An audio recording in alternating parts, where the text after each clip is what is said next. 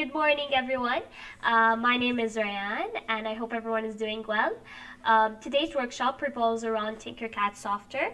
Now, before I start off, I want to explain about Tinkercad software. It is a platform actually utilized uh, to create 3D models and circuits for electronics. It is actually uh, very known for its simplicity and ease of use. And mainly they are used to convert the 3D models to actually take them to the 3D printers. But let me show you on how to start off on Tinkercad. So simply just go click on Tinkercad. So you don't have to download or anything. It's a very simple and straightforward. Now you can sign in if you have an existing account like I do. Oh, so in here it automatically took me to my dashboard because I already signed in. Now, uh, Tinkercad actually varies from 3D designs to circuits to code blocks to lessons. Now, if you want further information about Tinkercad and about the 3D models, you can click on the lessons and you can learn more into it. Now, for today's workshop and purposes, we're going to be picking circuits. Once I click on circuits, I get all my existing models in here that I have used previously, but for today's workshop, I'm just going to be creating a new circuits.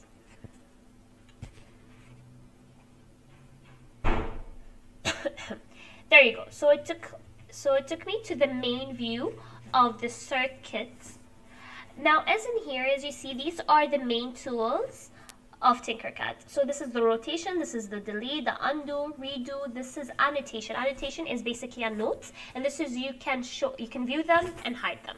So depending if you want to see them. Now there is a right button that you can click on. These are the components. It varies from LED to breadboards, as you can see them all here. To piezo these are buzzer okay? And to all so there are millions of components that you can search okay? And you can just type it in here and it automatically sets you there.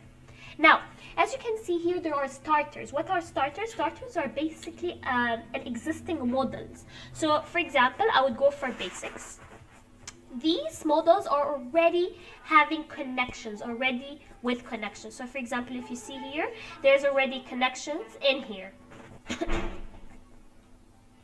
But for today's workshop I'm just going to be clicking on Arduino. So today I'm going to be showing you blink. So there's blink fade button. There's many um, other existing models but for today's workshop I'm going to be focusing on blink and showing you more into it because this is a very basic idea of Arduino. Okay, okay, let me show you more into it. So this is a resistor, so you can click on it and you can name it. So now naming is very important, twice, Especially when you're having a lot of models at simultaneously, so it's very important to name every component. So for example, resistor 1. And depending on how much uh, resistance do you want to have it, so this is you can change the units in here. Now this is an LED, you can change LED 1, for example. So this is very important. Just click on the component and you can change its color. Okay? As you can see here, red, let me show you. Yellow and many more. White okay. Now as you can see here what is an Arduino? Just a basic overview of an Arduino. Arduino is basically an open source prototypic platform. It is used for building electronics uh, projects. Now it consists of both physical programmable circuits, as you can see here, board, and a software that actually runs on your computer where you can write and upload the computer code to the physical board. Now in here, Arduino has digital pins and a ground here. Oh, sorry, this is the ground. And it has analog pins. And here, this is 5 volts. This is the power that supplies to the input. Now, what is analog pins and what is digital pins? Now, for analog pins, analog pins here, for most Arduino users, it is to read the analog sensors, okay? But uh, what are the digital pins in moreover? It is basically they're config configured as an input, okay? So these are configured as an input and they supply currents to the component. So for example here, so here it is supplying current to the resistor. Maximum current that is supplied per pin is actually 40 mega amps. So you have a brief description about Arduino and its components. Now, why do we need a resistor? A resistor is actually essential, essential because it is needed because if resistors are not included, the device will have a higher chances to get damaged because if the circuit operates on some tools without resistors, it actually might get, or it might get short-circuited and you want to prevent that, that's for sure. Now, let me just, now, a lot of people ask, why is Tinkercad so special? Because you can create the model, you can code it, you can simulate it, and then you can export it in the same process without having a lot of um, kind of steps. You know what I mean? So if you see here, codes are already pre-generated. Now, in this case, because I already picked an existing um, uh, existing model, but if you don't pick a pre-existing model, then you have to generate your own code, that's for sure. As you see, these are the codes. Now the codes can vary from blocks to blocks plus text to text, depending on uh, your flexibility and feasibility, depending on what how you feel, um, you know, uh, comfortable around it. And then you can start simulating it, and then you can export or share. Let me let me stop it for a second. Let me close the code so I can show you how is it. So it's yeah, it blinks and turns on and off, on and off. Fine, and then you can export it and share it. Now let me explain to you, okay, let me have to stop the simulation. First, I want to explain to you about the code. Now, um, okay, let me explain it to you. Let me have the model in here so you can see it properly. Uh, in here, so this is already an existing uh, existing code, but let me just explain to you uh, to have a brief idea. So this is notation. Notations are used for commenting. So I want to go in here and click on it here. So I wanna, I so comment. For example, I want the LED to turn on. It's just a comment. It will not affect the loop or the system whatsoever. Now I go for the uh, for the output because I have an output, which in this case it is a set built-in LED, right? I set it built-in. Now I go to high. Why would I go high? Because I want it on, right? High means on, low means off. Fine. Now this control. The control is basically a delay, a delay function. So for example, it has to wait for one second or millisecond. You can change depending on your situations. For example, I wanted to wait a three seconds. Okay, so this is only it turns on. One does it turn off, so I have to set another output. Okay, just drag and drop. Okay, to low. Low means off, and then I go for control, which is wait in here. Oops. Okay. And in here. And you can change it to 5 seconds. Right? It's a delay oh, setup. And then you can comment. So you go you can go to the notation and you can comment in so for example I want it here. Okay? I want the LED to turn off. So it's a simple, basically an idea. Blocks are very, very useful because it makes the code very simple and straightforward and you can understand it thoroughly. Uh, you can save it as well. Let us try the simulation. Let me close the code and start simulating it. So turns on and off, on and off, but it waits for, I said two seconds and then I said four seconds, I believe, yeah. Okay?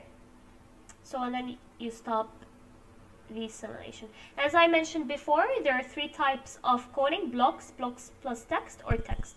Most of you will be very familiar with the text, as you guys can see here. This is already a pre-generated code because I clicked on the starters, which is basically the existing models okay. I hope everyone um, got a useful idea about tinkercad. Now my colleague will be explaining further about how to make or to create a mini piano using tinkercad. Thank you. Hello everybody. This is kirtana here. Today i'll be explaining how to build circuits on tinkercad as well especially focusing on building a diy mini piano virtually. So let's click on circuits here and then click on create new circuit. So let's just look into what exactly is this mini piano is. So we are just going to be having keys like the real piano. So this is a mini piano with with just seven push buttons and seven notes. So we are going to be having our push buttons. We are going to having a base, which is our breadboard to make several connections. We are going to have an Arduino so that when we play that it'll have a specific musical note and then we have an RGB LED so that when we click on a specific note, a specific push button, it shows up a different color. So let's start on. First, let's look into what are the components that we'll be needing for today's workshop. We need an Arduino, breadboard, resistors, RGB LED, and then wires, piezo buzzer, and that's about it. So let's just sort out all our components on the workstation here. And then let's give a brief explanation on each of the components. And then let's move on connecting the circuits. So let's get our components onto the workstation. I'm just typing out Arduino. We're going to be using Arduino Uno. Let's place it here. Then we'll be needing a breadboard. Just drag it here. We'll be needing a buzzer, piezo buzzer. Let's place it here. Then we'll be needing seven push buttons for our seven beautiful musical notes.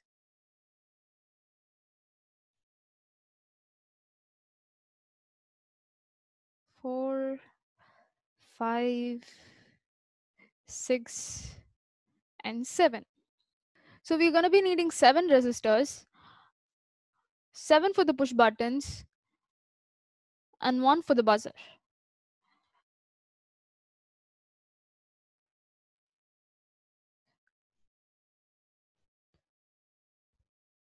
So yeah, we have our eight resistors, seven for the push button and one for the buzzer. Then we'll be needing RGB LED here. So let's just place it here. Okay, now just let's briefly talk about all of our components and then start connecting them.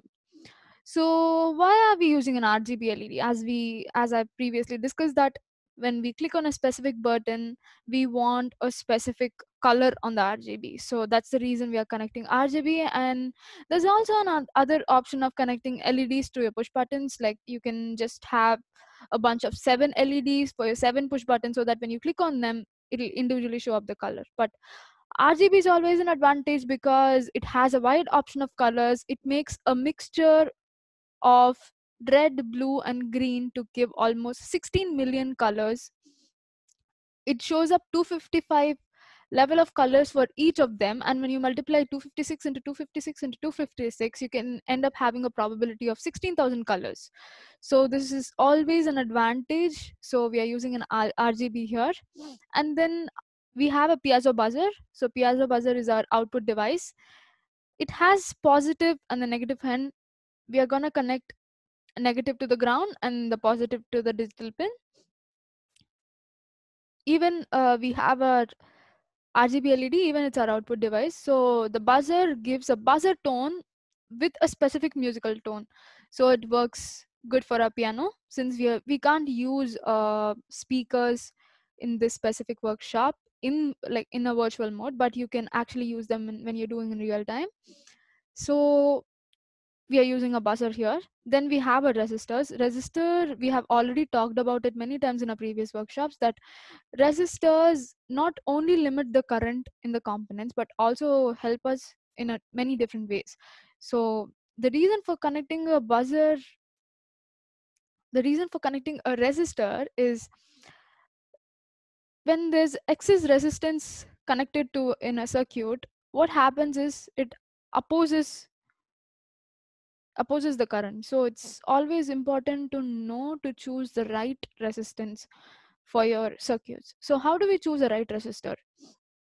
You can use a primitive method which is you can use ohm's law and as well as um, power equa- a power equation to find the resistance or you can use online uh, resistance calculators where you can just uh, type in your voltage and current values to give your resistance. So you can do any of them to find the resistance. So it's i'm just highlighting it that use a proper resistor wherever it be needed. But in this workshop we're going to be using seven resistors with 10k and one resistor with 100k which goes to the buzzer.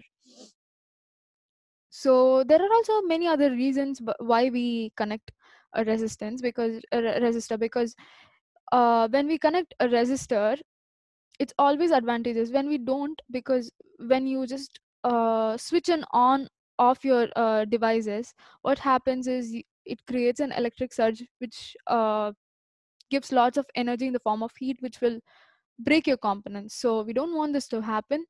So yeah please make sure you use a proper resistor not low and not high. If you use a low resistance your devices won't work properly. So please make sure to use a proper resistor. Then we have our breadboard. So basically this minus and plus which you see here these two rails work horizontally and these rails work vertically. So these are called the power rails and these are called these are called the terminal rails. These work vertically and these work horizontally. Then we have a push buttons here. Push buttons have two terminals. This is terminal 1 and this is terminal 2 so this is terminal 1a 1b 2a and 2b so this is just a brief idea about all of our components. So i think we can start connecting them so let's place our push button number one to here. I'm just giving a single line space for the push buttons, like the space in between them. So similarly, I'm just connecting all my push buttons onto the breadboard.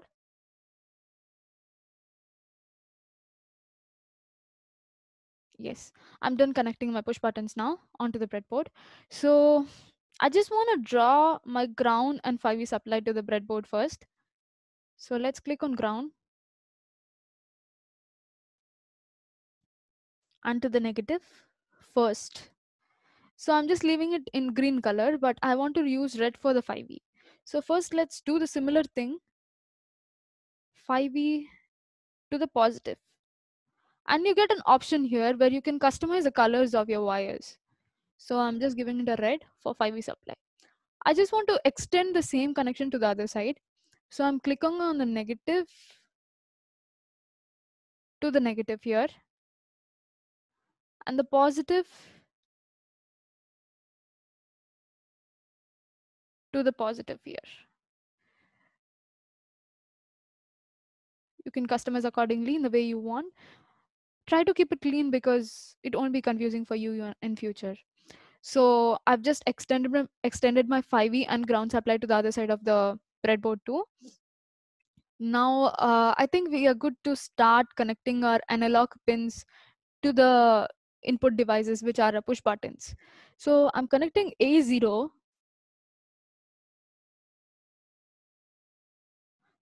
to the terminal 1A of the first push button.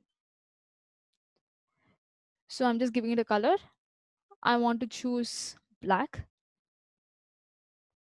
And A1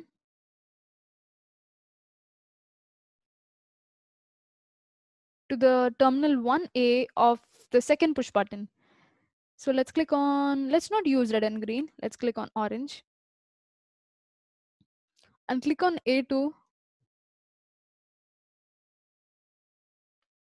And 1A of the third resistor. Let's use yellow. And click on A3. Just drag them and click on the exact place where you want it to be. And then take a turn, click here. 1A of the fourth push button. We have used yellow. Let's not use green. Let's click here. Yes. Let's click on A4.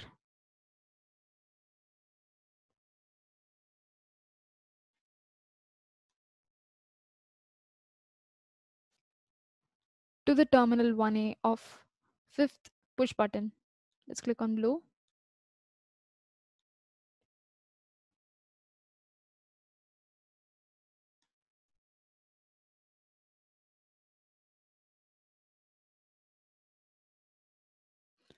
And let's give it purple. And for the final push button, we don't see any ports for the analog pins here. So we can just use one of them. I'm just using four in the digital pins. It won't be a problem.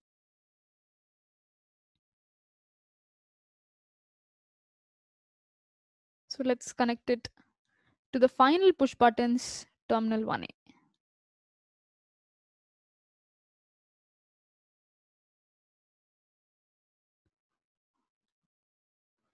I'm using pink for this. So I'm done giving my input connections now.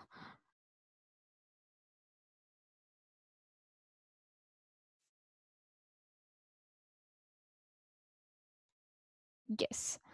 Now I'm just going to connect my other side of the terminal 1, which is terminal 1B, to the resistors.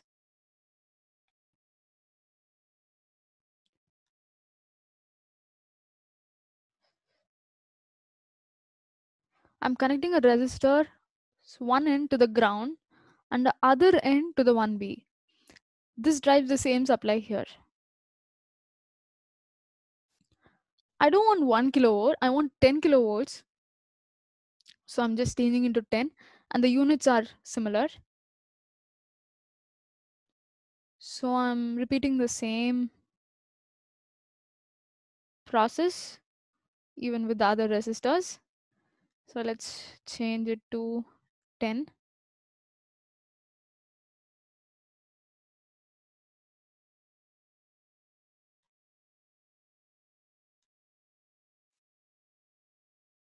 Just drag and drop them here.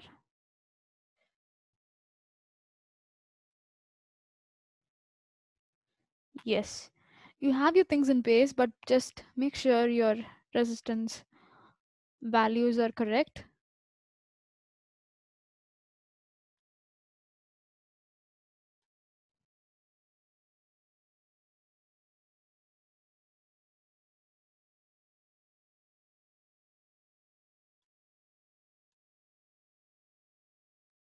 Just use 10 for all our resistors linked with the push buttons.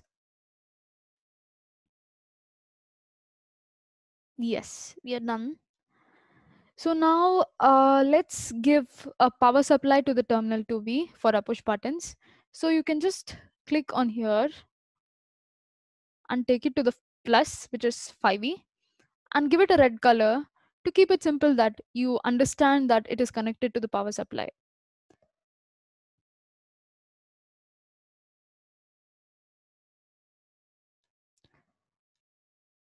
Resistors doesn't need any external voltage for them to work, but our push buttons need an external voltage. So this is the reason we are connecting them to 5V supply.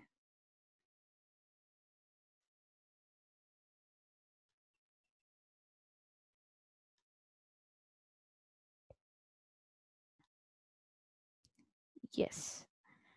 Yes, we are done connecting them. So it's time to connect our piezo buzzer. We have a resistor here. So we'll be using 100 kilovolt resistor. You can connect it here.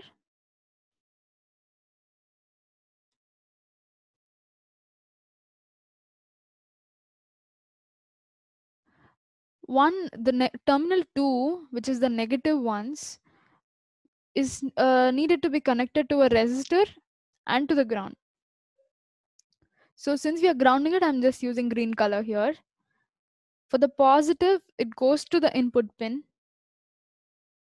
or a digital pin. In this case, I'm using a digital pin number five. But please make sure you just use the same pin numbers in the code or you can change your code according to the pin or change the connections according to the code whichever your comfort is so since it's a digital pin, I'm using a different color. It's time to connect RGBs now. So we have red, cathode, blue, and green. The colors are the digital pins and the cathode goes to the ground. So in a similar way, I'm going to use one more resistor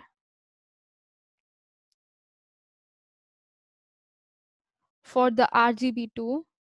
The cathode first goes to the one end of the resistor and then to the ground. And then the red goes to 11. Let's change the color to red. And blue to the 10.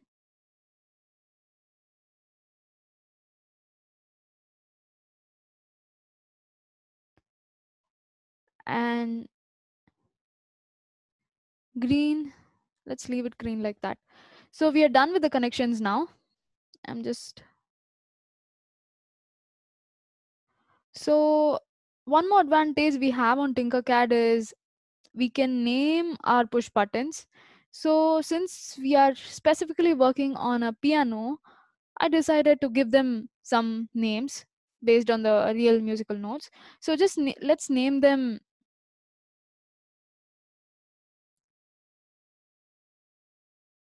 So let's name them button underscore A.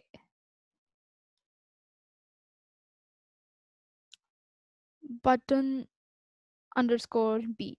So basically the music notes come in an order A, B, C, D, E, F, G, right? So let's use the same order.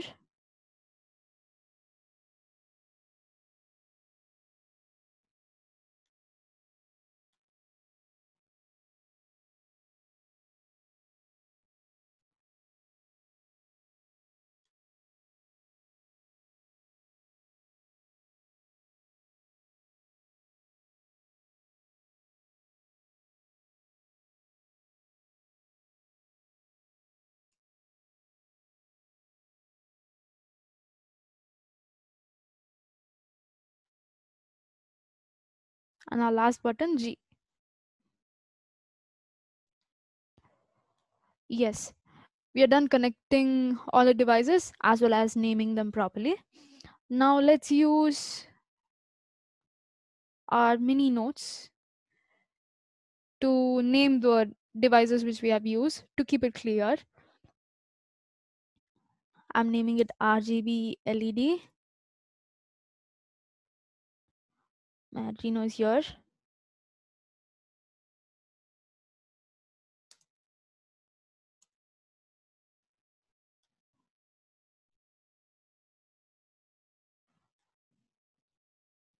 Buzzer.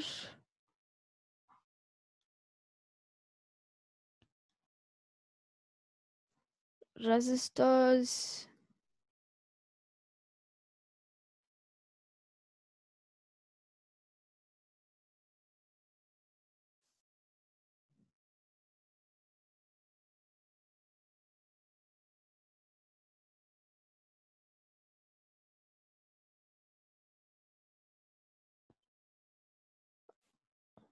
Wires I'm just dragging it here. And then breadboard.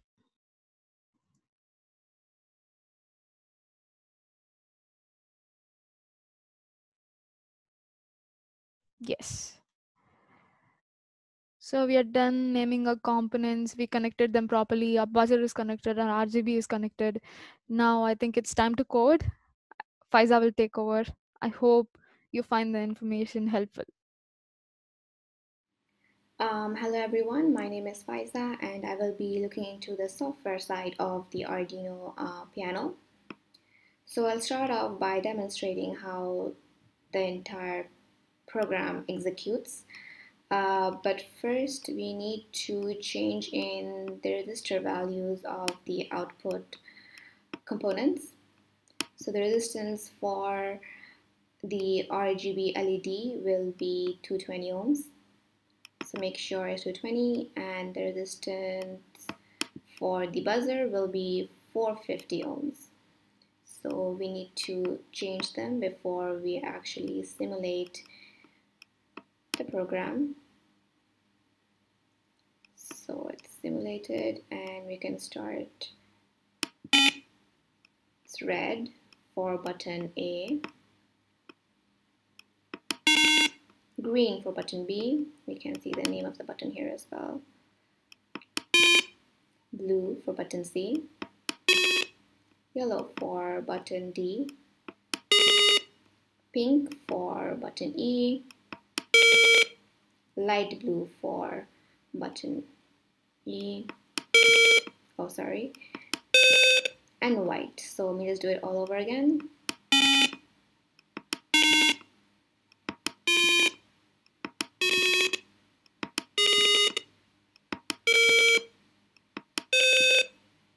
that's how it works now let's stop the simulation and I will jump into the code and explain step by step what how how we can uh, program this entire piano.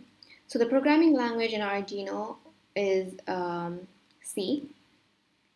Um, so firstly we start off by defining the notes for each key that we press. So we have seven buttons here, A to G, and each specifies each specify to a certain note. So for note A, I have given 262, and you can actually change these notes according to your desired pitch.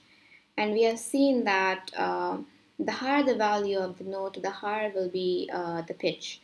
So you can adjust to your, accordingly to whatever you want. These are just some um, sample um, notes which I have gathered and and works. So we first define the notes, then we'll be initializing initializing our pins and the components of of the piano. So the components my uh, the components have already been connected um, by my friend Kirtina and uh, we'll just be initializing it now here. So the buzzer is connected to pin 5 as is mentioned here. Uh, so the buzzer here is connected, connected to pin 5 on the Arduino board and this is the brown uh, wire right here. Then we have all the buttons uh, button A to button G and they're all connected to the Arduino board as well. Um, so this is the button A for example and is connected to pin A0 with this brown uh, with this sorry black wire right here and button button two button B is connected with this orange wire to A1 so we say that B, B button B is connect is equal to A1 and so on. So C which is yellow is button C, you can see it here as well. Button C is connected to A2. Yeah, so we do it accordingly. Only a button G is connected to 4, pin number 4. This is G, the pink one, is connected to pin number 4. So it doesn't matter, we can connect it anywhere you want as long as it's, both of them are connected to each other. So yeah, that's all pretty much it. We define um, the pins and the components and all of them are constant because uh, we don't exactly change the pins um, while uh, during the process. Uh, so now let's um, look into the inbuilt functions of Arduino. There are two inbuilt functions, uh, void setup and void loop. So void setup will run once when the Arduino is powered up. It only runs run runs one runs once. And uh, void loop uh, is where the main code uh, goes in, the main logic of our entire program. Yeah, so it runs continuously after this setup function is already executed and the statements in the loop function will be executed from top to bottom uh, to bottom and when you reach the end of the loop function uh, the program jumps back up to the first line in the loop and starts all over. So that's how it always continues. Um, so let's um, go step by step and look into the contents of the setup void uh, setup function. So inside this function, we're calling another function called pin mode, and pin mode takes in two arguments, which is this is the pin number and output or input. So um, the pin mode function will, which is used, which is used to configure a specific pin to behave either as an output or an input. So um, in our case, um, the buzzer uh, and the RGB LED pins um, will be the output pins as they display the outcomes through their sound and light to the user. So these two will be the output pins and and the input pins will be the buttons which act as uh, the piano keys that the user will press. These are all the input pins. So you have seven input pins and one output pin for the buzzer and three for the RGB LED. So um, we'll be assigning um, the pins and stating whether it's input or output in this function. The pins of the buzzer and the buttons have already been defined above as we see that we call um, the button, for example, this one, button A is an input. So button A, the pin of button A has already been defined over here. We have initialized them previously. So we just call in the variables in this function. Same thing for the buzzer. We have already defined that the buzzer, the piezo buzzer is in pin number 5. So we just call in the variable of the buzzer and mention that it's an output pin, uh, as an output pin. Um, so we can do the same for the RGB LED, but I haven't done it here yet. Um, we could just mention that 11 constant and constant integer um, maybe because 11 is red in this case. So 11 is connected to red. So red will be the pin number 11. So you can say that red equals 11. So you can do it for all the colors.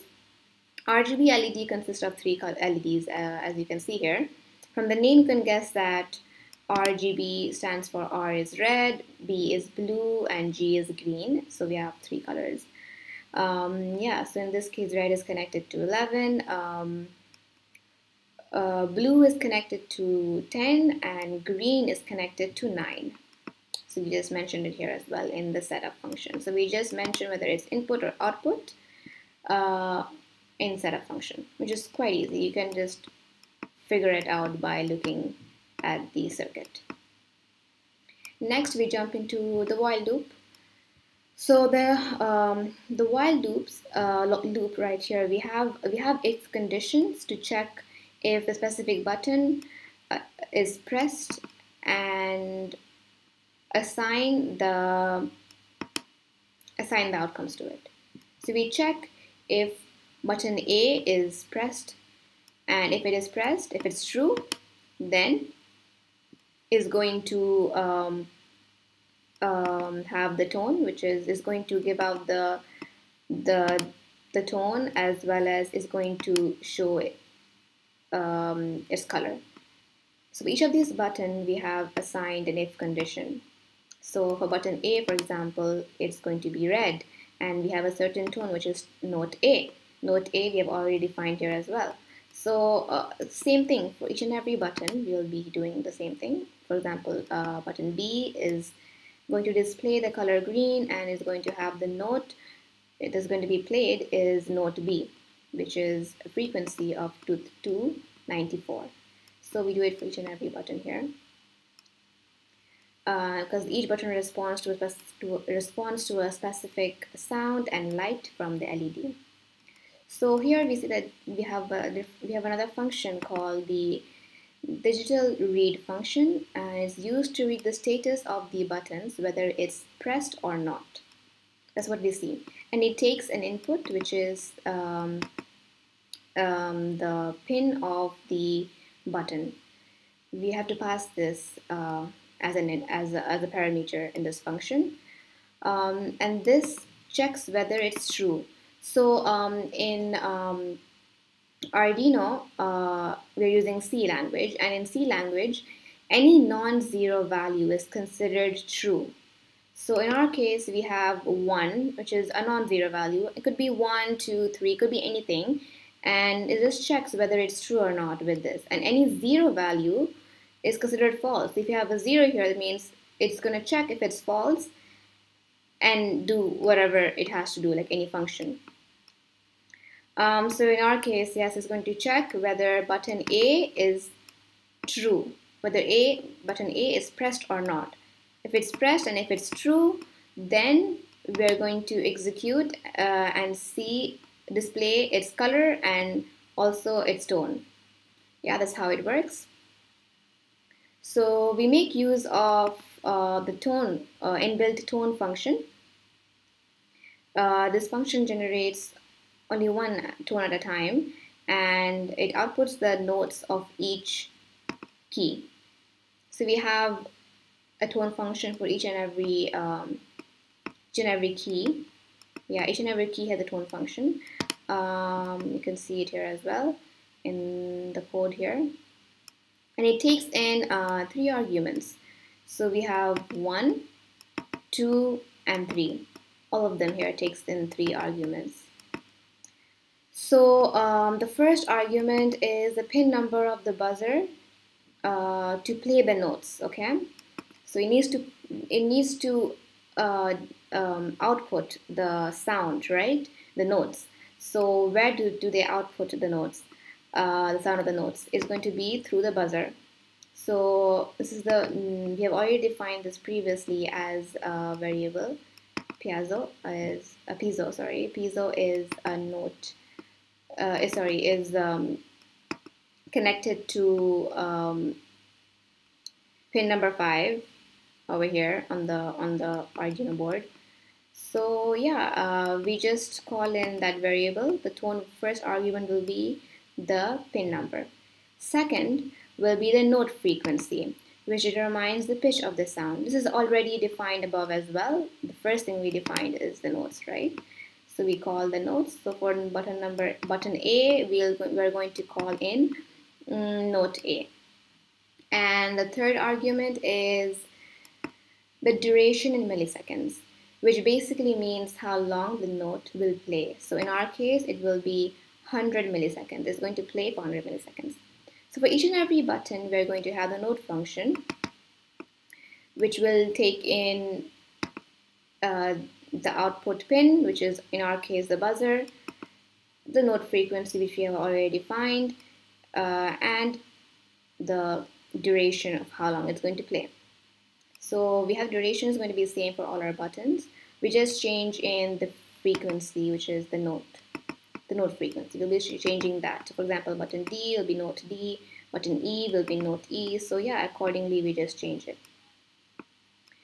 And then we have another function after that, which is set color.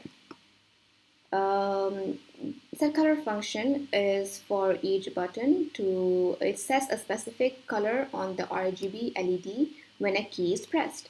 So um, we have defined this function separately actually um, inside the loop itself over here. Yes, right here. And the reason for having this function uh, separately is to reuse the code again and again and avoid uh, repetition. So instead of having this function in each and every if condition, we have just defined it, defined it outside and just use the function along with the parameters and we just call it each and every um, if condition. So it makes, um, makes it easy for us to uh, to code. So um, the set color function takes in um, three parameters, um, red, green, and blue. And each of these has a range of 0 to 255.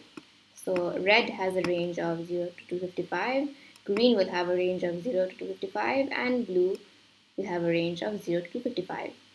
And this range affects the output of the LED.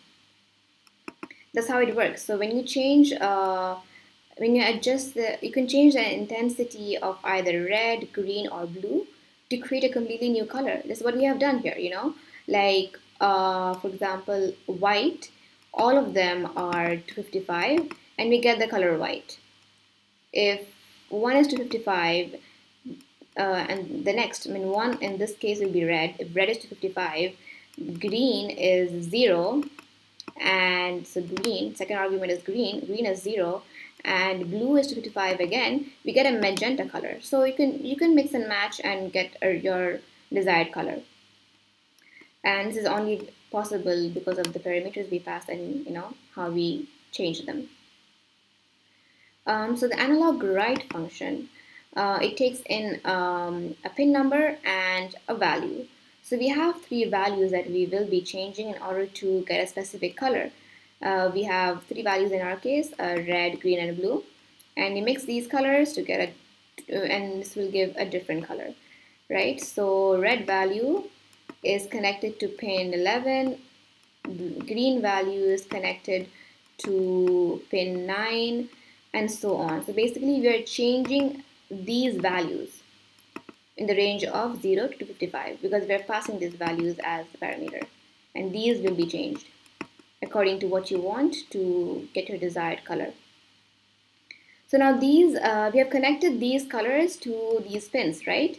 And these pins over here, um, uh, these colors are connect connected to the PWM pins. These are called PWM. Um, PW, to P, PWM pins are the pins marked with a tilde sign uh, and uh, you can see here I think it's very tiny yes right here. And these can simulate analog outputs.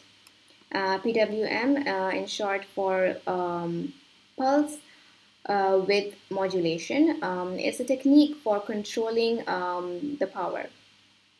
So we use it here to control the brightness the brightness of each of the LED yeah we change the intensity or brightness and to, to, obtain, to obtain a different color. That's what we're doing. We're changing the brightness of each and every color from in the range of 0 to, to 2 to 5 to get a different color. Um, yeah, um, that's what we're doing. And then uh, we use this function in each and every button here. Uh, let's go back to our circuit. yes. So each and every button will be set with a different color as we see here. And you can play around with this function actually and create and I mean display any kind of color you want. But it has to be between 0 to 255 for each and every um, parameter here okay so lastly we have a delay now uh, we end the while loop with a delay of 15 milliseconds and the time for the delay can be changed by passing a different time value as you like. Uh, but the delay function prevents uh, overlapping by separating the tone for each of um, these buttons. So um, for example, if you frequently press um, a lot of keys together, a lot of these keys together, the delay will be able to handle it and um, provide like a consistency in the program. This is the reason we have a delay to separate all our tones and um, cue them actually kind of like cue them in uh, for the program to receive the inputs. Um, so yeah, that's pretty much it and um, you can uh, get the code from the description and um, start simulating your own piano and um, with the colors changing and the tones changing and and um, yeah that's that's how we create an Arduino piano with the RGB LEDs as well. I hope you enjoyed our session.